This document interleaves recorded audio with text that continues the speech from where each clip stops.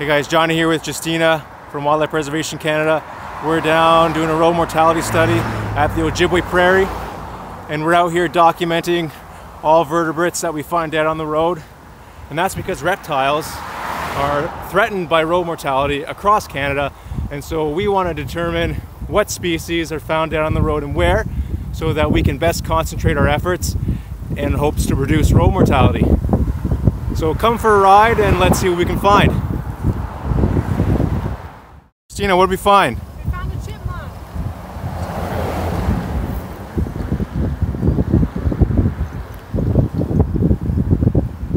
So there's Justyna taking notes.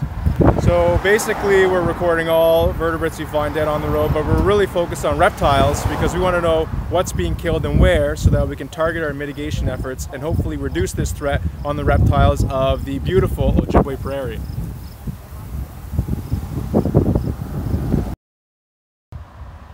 What'd you find? Chipmunk. Another chipmunk? Yeah. Oh my gosh. There it is. Did you see something? It's a snake? Okay, we got a snake. Let's go check it out. What kind of snake is it? Uh, unknown snake. Oh, it's a crispy one, isn't it? Oh my gosh, you can hardly even tell it's a snake. Mm-hmm. Almost didn't see it. Good eye.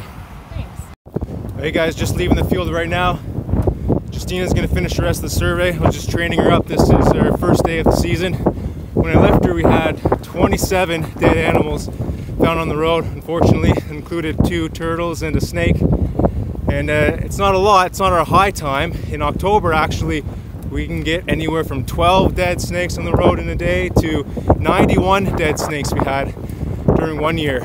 So this year, what we're going to try to do is see if we can get permission from the city to do a temporary road closure during October when we get the highest amount of snake road mortality, and then continue to do our road mortality surveys and see if there's an impact on mortality numbers, and hopefully they go down. So stay tuned. We'll uh, keep you updated on how that goes, and talk to you later.